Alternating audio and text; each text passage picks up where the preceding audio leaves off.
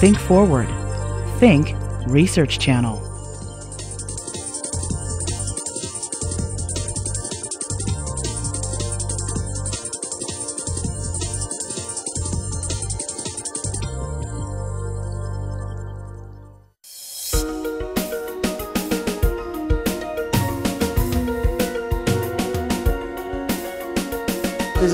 Problem with genocide, which is that it tends to happen in places that are off the beaten path.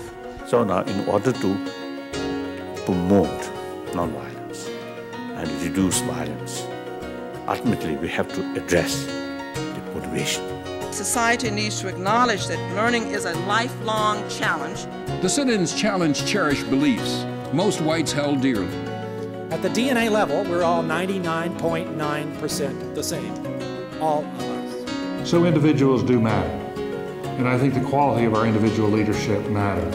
Who is speaking for poor people? 40 million Americans make $6 an hour.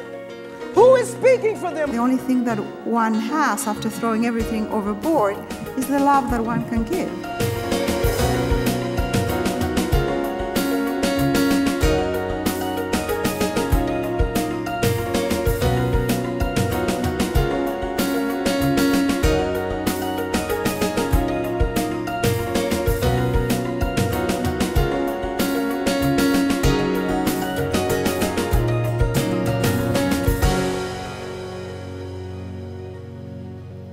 The argument of my book, you know, there's two parts. I talk about why there are sex differences and why we have good evidence of that, about aggression, nurturing, and um, sex.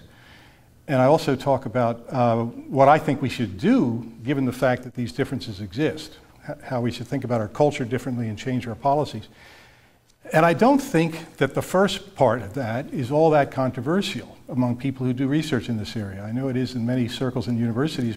One reason I say that is someone called Janet Hyde, who's a, who's a strong feminist whose work is used in most women's studies departments. She wrote a big review essay of all the evidence we had called the similarities hypothesis and argued that men and women are, are pretty much alike. But on the, what I talk about, and what I'm going to talk about today, for example, sex and nurturing, she didn't disagree at all. She said the differences about casual interest in casual sex are large, and they were close to very large in her categories. And the interest, uh, differences in, she called it tender mindedness rather than nurturing, are also large, close to very large. So the differences come, I think, with what we make of these differences, and I think we'd make great progress if we could just agree there really are fundamental differences and then figure out what we should do about that. I begin my book with a horrifying story, which by itself I think suggests there have got to be fundamental differences which are not controlled by nurture. It's, it's a, a, case of identical twins go in for a circumcision back in the mid 60s. One of them comes out without his penis, and the question is, what do we do with that guy? There's some expert at Johns Hopkins, supposed expert, who says, well, he hasn't formed his gender identity yet. Let's chop off his testicles and put a little slit there and shooting full of estrogen and testosterone blocking drugs, and he won't know the difference. We'll raise him as a little girl. And for over a decade, this doctor misreported what was happening, said it was going well, and articles said little Brenda was remarkably neat and dainty. Well, it turned out to all be a lie. Um, some a journalist and another skeptical researcher found him, and Brenda was now called David, living in Canada, living as a male, the adopted father of uh, three kids. And it turned out that all along he'd always felt he was a male. At, at 14 years of age, he told his parents, I'm a boy. And at 15, they told him the truth, and then they tried to give him mastectomies and turn him back into a boy as best they could. Anyway, uh, if you look at the story of his life, when he, when he was first given a jump rope, he whipped people with it. He, he, he, wanted to shave, he wanted to shave like his dad. He wanted to urinate standing up. The first time he was put in a dress, he ripped it off. The teachers in his elementary school said that he was the most, had the most pressing, aggressive need to dominate that they'd ever seen in a little girl. Now, Johns Hopkins, after this story came out, went back and looked at other of this Dr. Money's patients. These had been kids who'd been born without penises, and he'd recommended the same thing, and they did. They tried to turn them into girls, and, and they found that every one of these 25 liked rough and tumble play when they were little boys, like boys tend to do and girls don't. 14, these were ages 5 to 14 when they now went back and saw how they were doing. And 14 of the 25 had already declared to their parents that they were boys. Being raised as girls, having pumps full of all this estrogen and so on, that doesn't happen very often. I mean, occasionally someone says, I want to become a boy. But, but for people to be absolutely convinced they're boys when they've been raised from infancy as a girl is pretty unusual and suggests that there's something happening before pe- people are even born that gives them a sense of uh, who they are, what their sex is. And, and most scholars think it's testosterone in the womb that does this. A sad story, the guy ended up, after I published the book, committing suicide. It just suggests, well, you get these things wrong and you can really do a lot of harm. Now, there's other evidence we have uh, that sex differences run deep. One is other hormonal studies suggesting that the more testosterone you're exposed to in utero, the more likely you are to be aggressive and competitive and assertive. And testosterone also dampens nurturing behavior. Aside from these hormonal studies, all around the world, societies think, if you ask them, you know, who's more aggressive in your society, men or women, they always say men. And who's more nurturing, they always say women. The majority, vast majorities. Uh, also, these differences appear very early in life, uh, before boys and girls really understand the gender stereotypes. Boys are doing rough and tumble play, and girls are more interested in dolls. It's not till about the age of three that people realize what most boys do and what most girls do. They have a sense. But, but before that age, they know what they like to do. And they are what the gender stereotypes suggest. Boys like to play with balls more before two, girls like to dance more before two. And uh, another important difference is at 12 months of age, girls respond more empathetically to the distress of others through more sad looks, sympathetic vocalizations, and comforting behavior. But today, I don't want to just focus on the argument of my book. I want to uh, engage the people who are most unhappy with my book. And, uh, and they're usually women. And they're usually educated women. And not all of them by any means. Most women I hear from love the book. And, but the ones who don't like the book, who hate the book, are usually educated women who are convinced that this book and any serious attention to sex differences will be, have disastrous implications for women's well being. So I want to address that because I think just the opposite. I think that um, taking more, giving more attention to sex differences would uh, improve the lives of men, but it would improve the lives of women more. Now, I call my opposites, the women who are opposed to focusing on sex differences, androgynous feminists. There's an equity kind of feminist who's, who's, who believes in equal rights before the law, as I do, and equal pay for equal work, and so on. But the androgynous feminists, uh, I think they dominate the National Organization for Women and the Women's Studies departments and most of the humanities and large parts of the social sciences. I think they, they think that, uh, aside from the obvious anatomical differences, that there are no fundamental differences between men and women. Uh, and those that seem to exist are, the result of society, of how we, how we bring up boys and girls rather than the result of nature. I want to focus today on sex and nurturing of children. And I think the feminist position on this, androgynous feminist position, goes something like this. The double standard of sluts and studs has for too long restricted women's exploration of their sexuality. Women's sexual liberation is an important part of women's liberation more generally and young women should condition their consent to sex on pleasure and desire, as one influential book puts it, have sex for the sheer pleasure of it. On children, androgynous feminists say that women have to bear them, but men are just as good at bringing them up.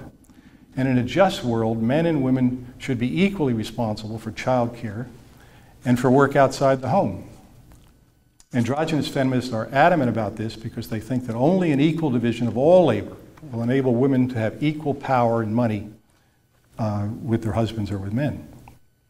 Now, my critique of this uh, outlook begins with the assumption about what most women care most deeply about. So I'm going to focus on most women. As I mentioned, there are different kinds of women. I, I explore this at, at length in my book. Ones who are more career oriented, who are more assertive and aggressive, who are less interested in babies and dolls when they're young. On average, they've been exposed to more testosterone. They're different from most women. I want to focus on most women and what I think they care most about, and I think it's emotionally close relationships.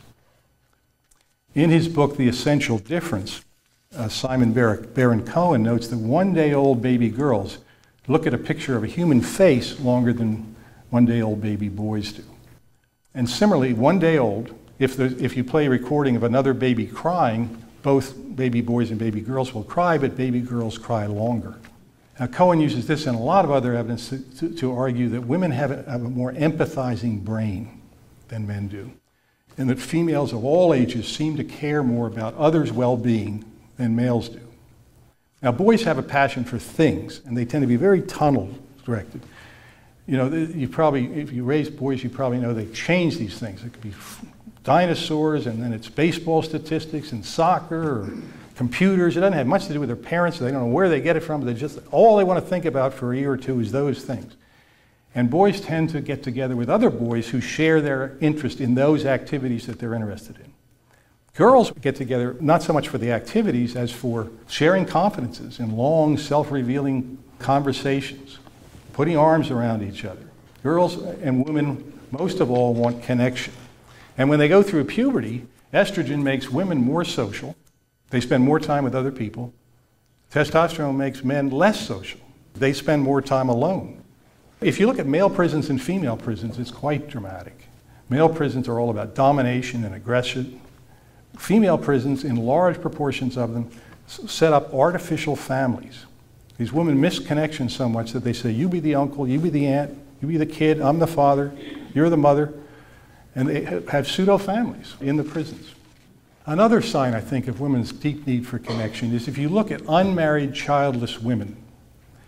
This group, you might think, these are the ones who are the careers. They and, and they're really different. And one of the reasons maybe they didn't get married is they didn't want interfering, a family to interfere with their careers.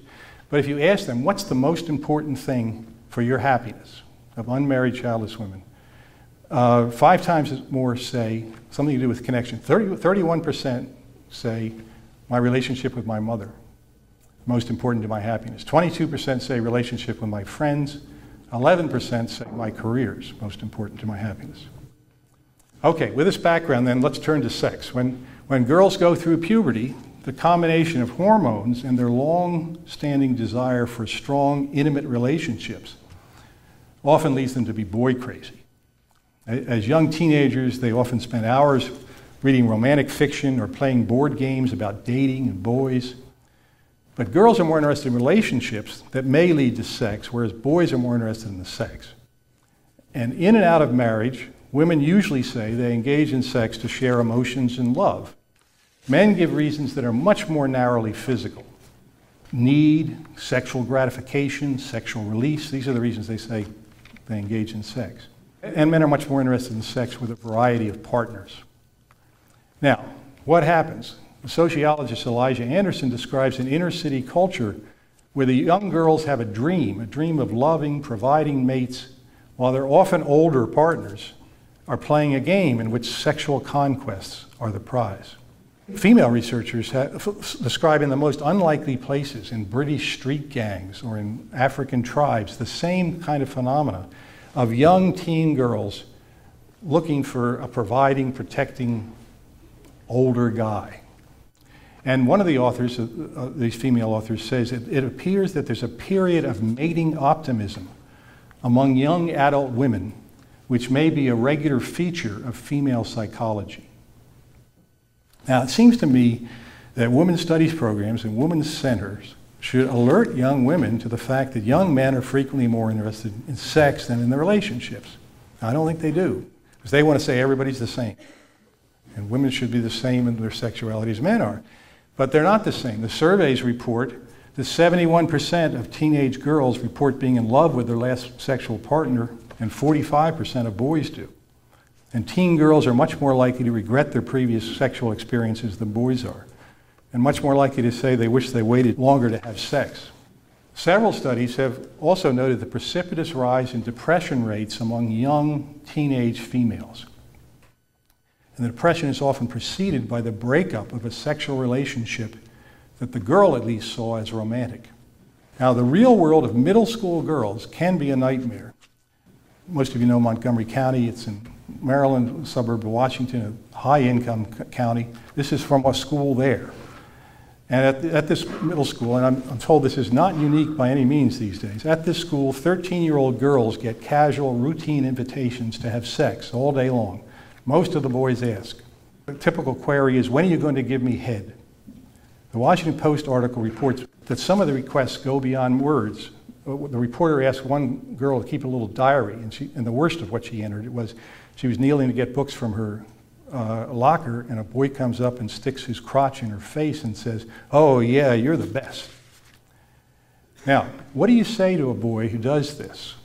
Uh, I don't think you can say much if you assume boys and girls are the same about sex, if you have an androgynous understanding of sex. If you say to this boy, Well, how would you feel if she did that to you? What's he going to say? Great. Do you think you could get her to? You know? It's not the same at all. He doesn't find, I mean, girls find it degrading and, and threatening in some way. Boys don't. They just think it's good fun. It's just another kind of horseplay. Why make a big deal about it? We're not going to get anywhere in changing it unless we say boys and girls are different about this sort of thing.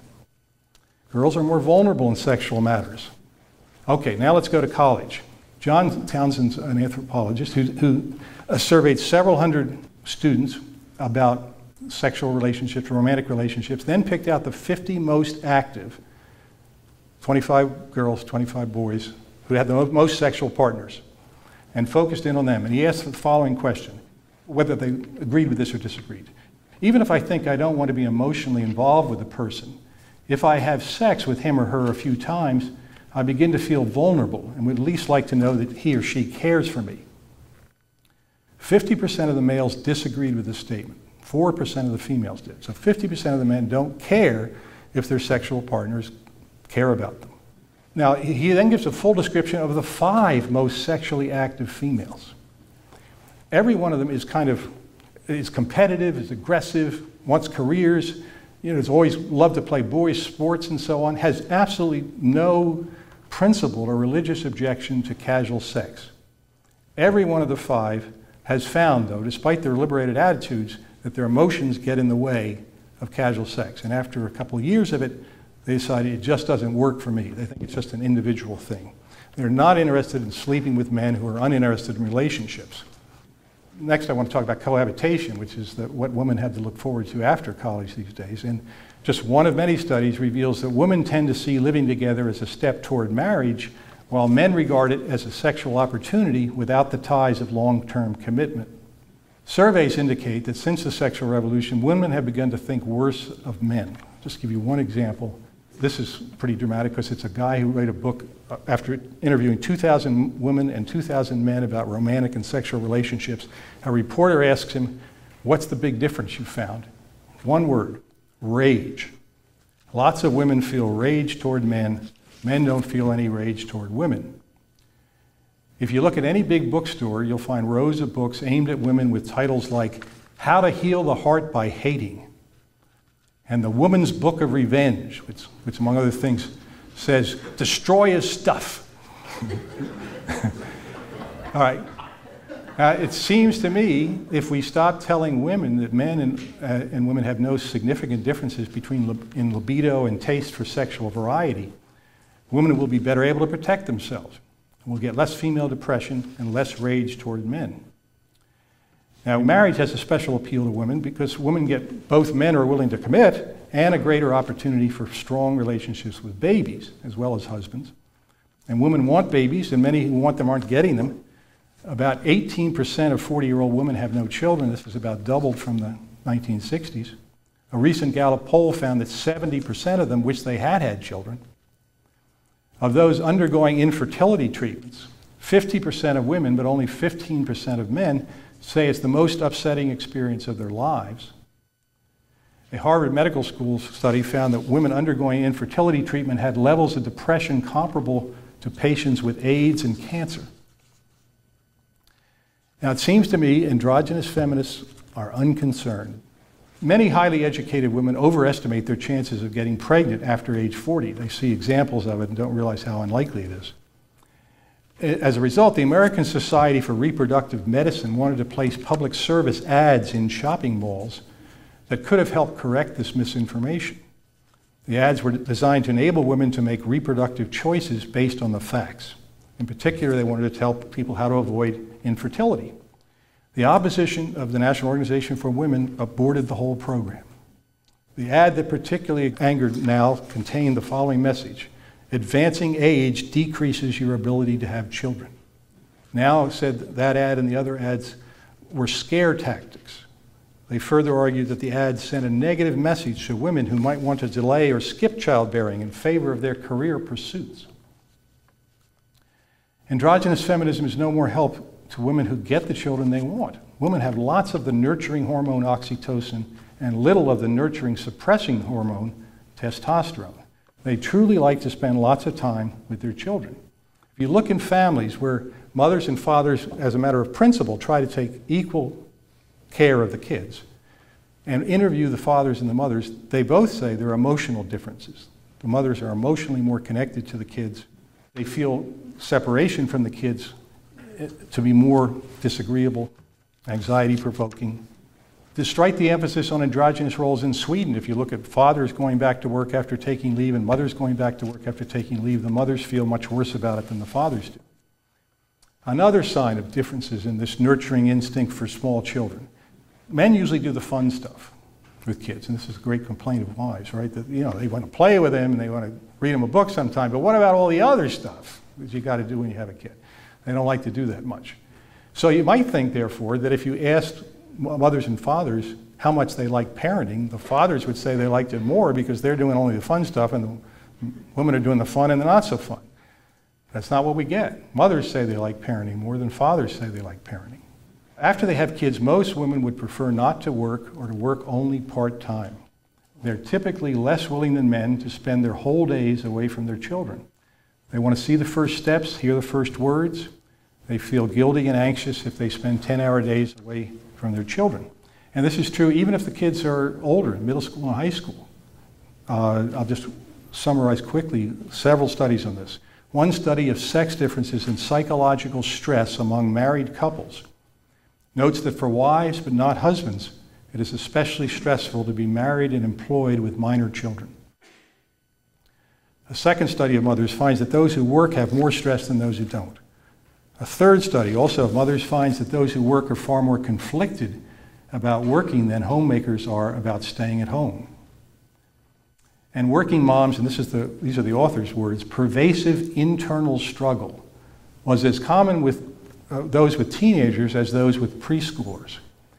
Even those with fully supportive husbands who completely supported their wives' careers often were highly conflicted. A fourth study shows that working moms with minors at home have levels of cortisol indicating high stress, more of that than do other women without kids who are doing the same jobs.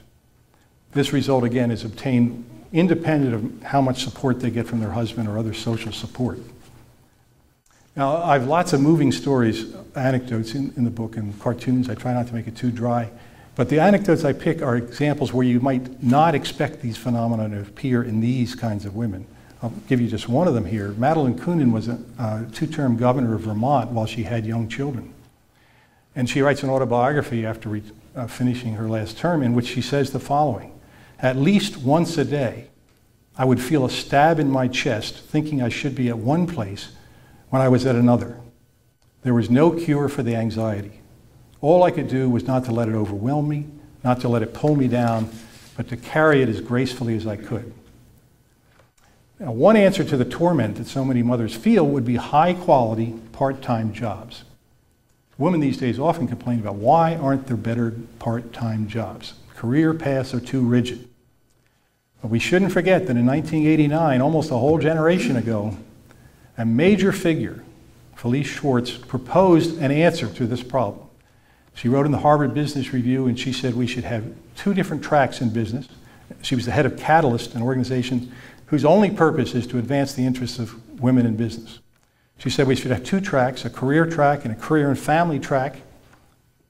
Uh, women on the career and family track wouldn't have to put in as long hours, but they could stay connected to their company, connected to their work, and they'd settle in the medium term for middle management, but they'd be happier with this mix than they are now. There was outrage in the letters to the editor, one of the most greatest flurries ever. from women who said this would be a disaster for women. The National Organization for Women and the National Women's Political Caucus and several other groups had a jointly authored letter where they said uh, this would be a disaster. It'll be a disaster even if you make it gender neutral, even if you say men can go on the career and family track too if they want. But the, still, they said women will be the ones who take it. Everybody knows that, and therefore it'll come to be a, a mommy track and will cut off women's employment opportunities. They went on to say if any business sets up a career and family track, we will sue you. And they also said, why didn't Felice Schwartz talk about why men don't do half the child care instead of coming up with this ridiculous proposal? Now, androgynous feminists want women to be as likely to rise above the glass ceiling as men are. That's the reason they get their umbrage at these things, whether it's how do you make people pregnant or how to have a career and family track.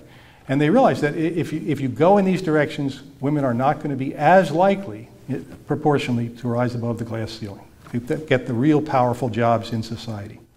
But my own research, even in a very androgynous group, here, uh, a national survey of women assistant professors with kids under two who are trying to get tenure. And their opinions about androgyny and who should do everything are very liberated. Very men and women should do everything equally and so on. But when we ask who does each of these 25 tasks more often in your family, the female professors, I, on average, say they do every one of them more, and the male professors say they do every one of them less. Even buying the groceries for the kid, you know, anything you can think of, the women are doing more. But also interesting, we also asked, how much do you like doing each of these 25 tasks? The women like doing 24 of the 25 more than the men.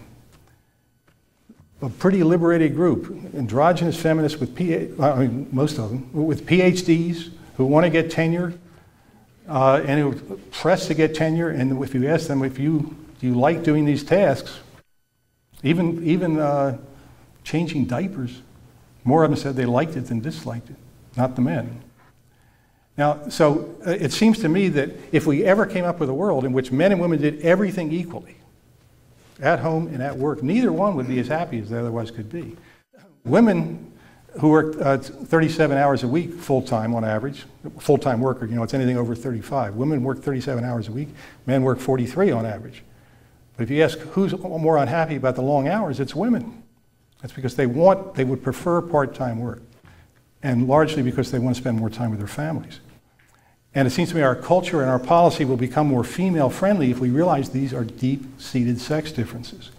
And not only that, but there's different ways to think about power. Power is throwing your weight around and being the best at writing wills and therefore making a whole lot of money or whatever. But uh, it's also, uh, this was the words of another author that I really think are great. She said, a lot of women think of power in a different way. They think of power as creating relationships, binding families, and building societies.